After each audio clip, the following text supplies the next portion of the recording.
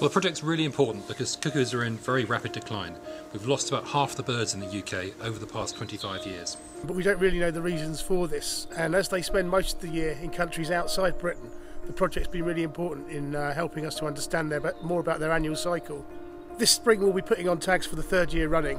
Two years ago we tagged five cuckoos, that was the first year of the project, and then last year we tagged another sample of birds um, so that we had 14 birds we were tracking um, at the end of the last breeding season we've really got very little previous information about cuckoo migration. In fact, the best bit of information we've got from Africa comes from 80 years ago. This was of a bird that was ringed in a pied wagtail's nest in England uh, in 1928, which was found in Cameroon about a year and a half later in January 1930. So the project's been really important in helping us to, to learn about the annual cycle of the birds, um, the routes they take, the stopover locations they use, and um, a lot about the timing of their migrations. It's quite incredible. We thought the birds would be spending maybe two or three months in the UK, but actually one of our tagged birds only spent six weeks in the UK. So really they're more African birds than Eurasian birds.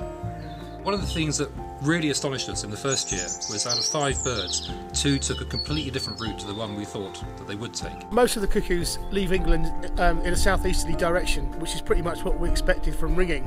Um, they then stop over in northern Italy before flying in one great big jump all the way over the Sahara to um, Africa.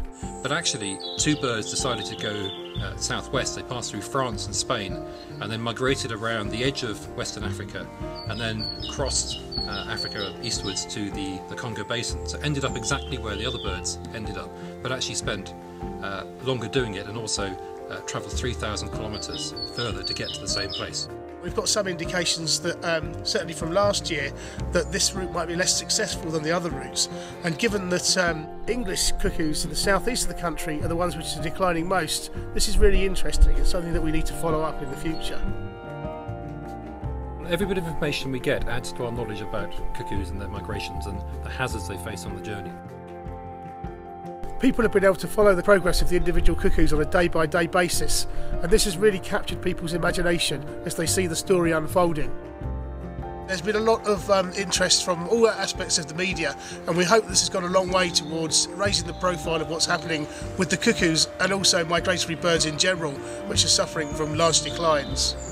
Well, probably the highlight for me was finding Lyster last year when he came back to the UK. Last spring was a really exciting time because we really didn't know when the birds would be arriving back. And suddenly he appeared in, in back in the Broads where we had originally tagged him. And we had a BBC film crew coming to, to, try, to try and film him. We decided to go to the last known place that we could, we could get a location from. I'm going to switch this on.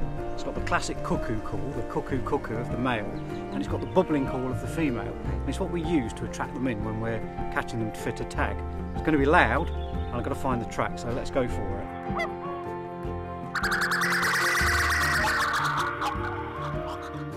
And after about a couple of hours, we actually heard a cuckoo calling.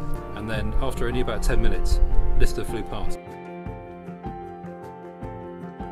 Seeing Lyster that day was, in, was incredible because this is the first time we've actually followed a cuckoo for its entire annual cycle. And to find him on the day after he arrived back in the UK, flying around cuckooing, was fantastic.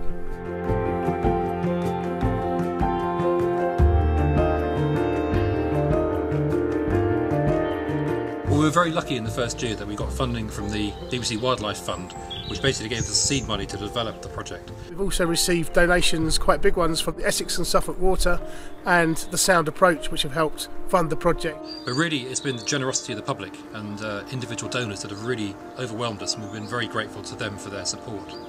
Each tag costs £2,500 and then associated with each tag we have a monthly charge of £60 to get per tag to get the data from the, the satellite company. Um, and really, all this work wouldn't have been possible without the generosity of all the, all the people who donated money to the project. You can sponsor a bird on the BTO website for as little as £10, or you could even sponsor a month of satellite time for £60. This year we'll be tagging some more cuckoos, so make sure you come back to the BTO website to check out how these new birds are getting on.